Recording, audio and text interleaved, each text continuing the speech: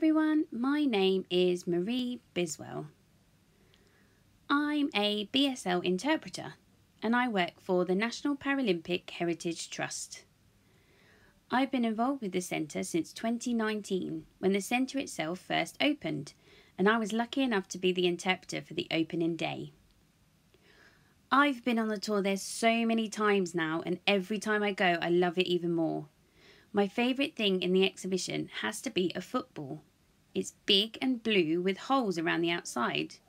And if you pick it up and shake it, you can hear a bell in the middle of it because it's used to play blind football. It's so amazing to watch.